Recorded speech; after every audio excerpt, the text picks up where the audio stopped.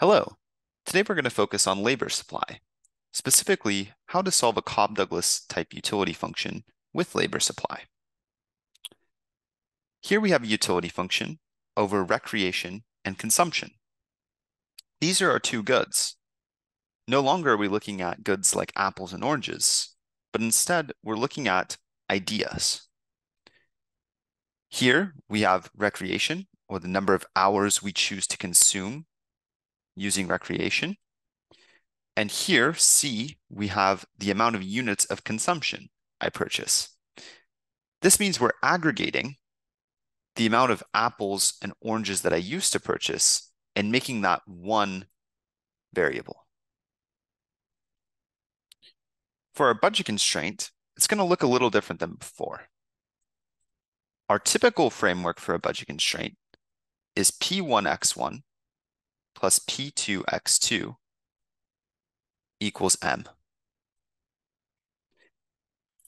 With labor supply, we're looking at the same thing, but instead, a little bit different in terms of the variables. So we're going to say WR plus C equals M plus W L bar.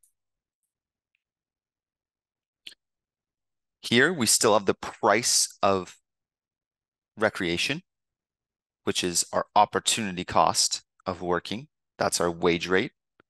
In other words, if I'm to take an hour off of work, I'm missing out on the wage I could have earned for that hour. Therefore, the wage rate that I could have earned is the price that I pay to use that hour as recreation. Consumption, on the other hand, is a composite good again, we're aggregating the number of apples and the number of oranges we purchase and making it one good. Therefore, we can place whatever price we want to on this good. This means we should always pick a good or a price level rather of $1. A price level of $1 makes the math easiest. On the other side, we have our income. Our income is going to be split into two sections our non-wage income and our wage income. Our non-wage income is this first part, this capital M variable. This is typically given to us in labor supply questions. Conceptually, it's something like money I find off the street or some sort of allowance I'm afforded, any income that I don't have to work to earn. On the other end, we have the amount of money that I earned from working. W represents again our wage, whereas L bar represents the number of hours I possibly could have worked. Let's look at a different formula. L bar equals R plus L. R being again our recreation hours, and L being the number of hours I actually choose to work. These two together, when we add them up, is the total amount of hours I have available to me or L bar. Adding M and W L bar together gives us our total possible income that we can spend for recreation and consumption. Okay, with this framework in mind, let's take a look at this specific question. Here we have, again, r squared times c. This is our Cobb-Douglas utility function.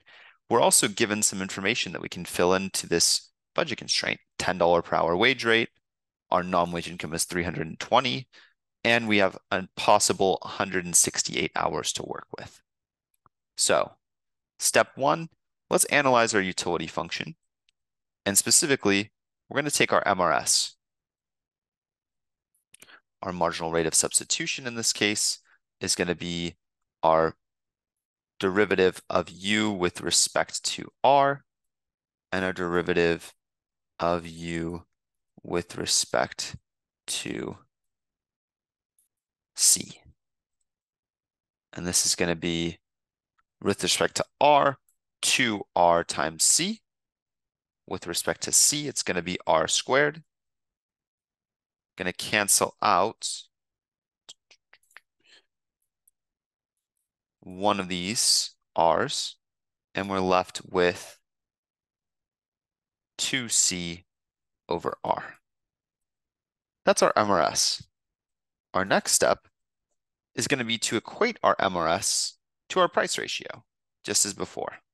Our price ratio in this case is P1 over P2, so it's going to be W over 1, or just W. So 2C over R equals our wage rate. Going further, we know our wage rate is $10 per hour in this question. So what we can do is say 2C over R equals 10. 2C equals 10R. So C is equal to 5R. Okay. From there, we're going to plug into our budget constraint to figure out our optimal amount of recreation. So we're going to say 10 R plus C equals my non-wage income of 320 plus my wage of 10 again times my number of hours I could possibly work, which is 168.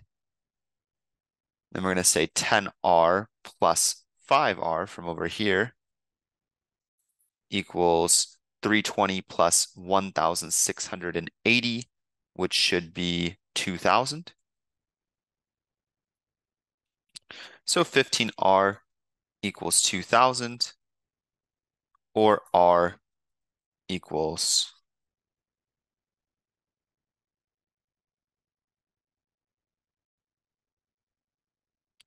Hundred and thirty-three point three repeating.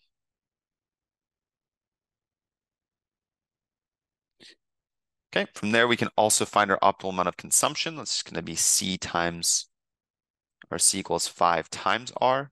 So R in this case would be R 133.3 repeating.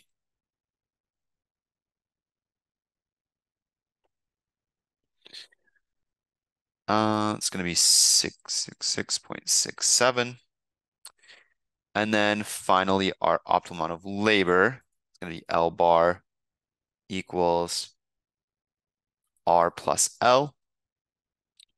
168 equals 133.3 repeating plus L.